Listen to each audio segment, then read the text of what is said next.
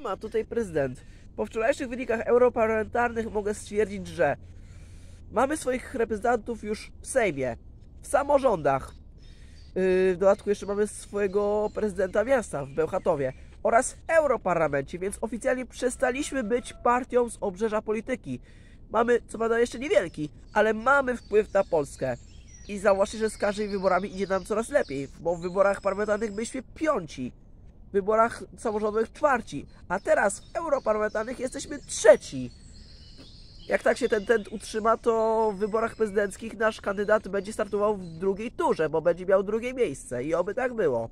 I co ważne, nasza największa, jak chcecie, czy to żyleta, czy to siekiera, Ewa Zączkowska jest z tym, czym być powinna, czyli z mandatem. I jeszcze chcę zwrócić uwagę na trzy totalne fakapy lewicy. Wszystkich, we wszystkich grupach społecznych, na których, ich naj, na, których im najba, na których głosach im najbardziej zależało, czyli kobiety, robotnicy oraz osoby y, z najmłodszego przedziału wiekowego, czyli od 18 do 29 roku życia. We wszystkich tych grupach Konfederacja zdobyła większ, więcej głosów niż Lewica. A w ogóle w tej ostatniej grupie to wygraliśmy ze wszystkimi partiami, osiągając zawrotny wynik 30%.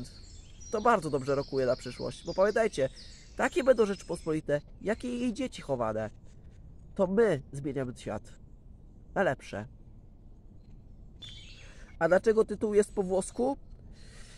Ponieważ po włosku mówi Sultan Kosmitów. Przyznam się szczerze, że całkiem niedawno, bo niecałe 3 miesiące temu odkryłem dopiero Kapitana Bobę.